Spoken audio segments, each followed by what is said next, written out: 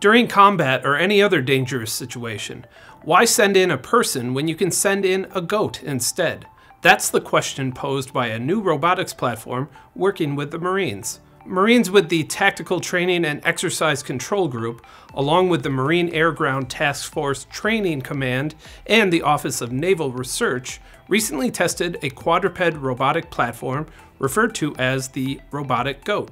Though it bears a slight resemblance to a goat, particularly in terms of movement, it's actually a remote controlled device built for multiple mission applications. The robot is agile enough to move over rough terrain. It features an extensive range of motion, including walking, running, jumping, turning 90 degrees, swaying suggestively, and sitting up and begging, all of which can be performed through the camera equipped controller. In a video posted by the Defense Visual Information Distribution Service, a woman demoing the device mentions a larger version of the robot that wears a goat head mask while either growling, barking, or emitting a siren. It all prompted one Marine in attendance to say, That thing is creepy, man.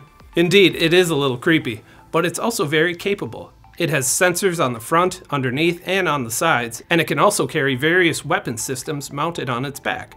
During the test completed in September, the TTECG and the ONR test fired an M72 light anti-tank weapon rocket launcher from the goat's back. The goat featured in the video is not necessarily the same goat that would be deployed on the battlefield.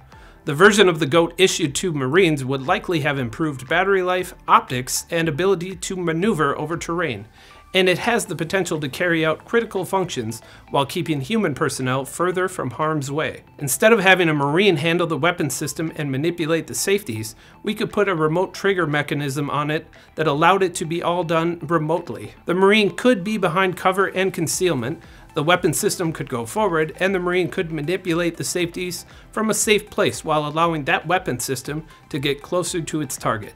I'm Ben Munson, and this is Manufacturing Now.